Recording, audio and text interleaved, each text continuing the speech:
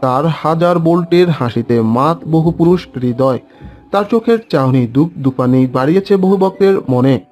আর তার নাচের ছন্দে আজমাতরা বলিউড। তিনি মাধুরী দীক্ষিত।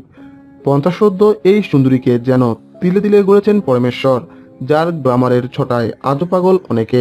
মাধুরীর জন্মদিনে এক নজরে দেখে নেওয়া যাক তাকে ঘিরে কিছু অজানা তথ্য। হাম আপকে হ্যায় কন ছবিতে মাধুরী দীক্ষিত সালমান খানের চেয়ে বেশি পারিশ্রমিক নিয়েছিলেন।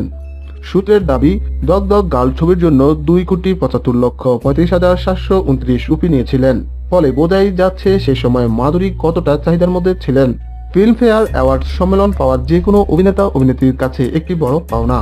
সেখানে সেরা তকমা জিতে নেওয়াটা বড় বিষয়। আর এই সেরা অভিনেত্রীর পুরস্কার ফিল্মফেয়ারের মঞ্চ থেকে তেরোবার নিয়েছেন মাধুরী। মাধুরী দীক্ষিত ছোট থেকে কোনো দিনই ভাবেননি যে তিনি অভিনেত্রী হয়ে উঠবেন। তিনি প্যাথোলজিস্ট হিসেবে নিজেকে দেখতে চেয়েছিলেন, তবে আজ তিনি দেশের অন্যতম নামী তারকা। দু হাজার এগারো সালে মাধুরীকে একটি ছবিতে সোনম কাপুরের মায়ের ভূমিকায় অভিনয় করার প্রস্তাব আসে মাধুরীর কাছে, তবে সেই প্রস্তাব তিনি ফিরিয়ে দেন। দেবদাস ছবির জন্য মাধুরী একটা সময় তিরিশ কেজি ওজনের লেহেঙ্গা পরেছিলেন। সঞ্জয় লীলা বর্ণশালীর পরিচালনাতে দেবদাস ছবির জন্য এই ভারী ঢাকা পড়তে তিনি।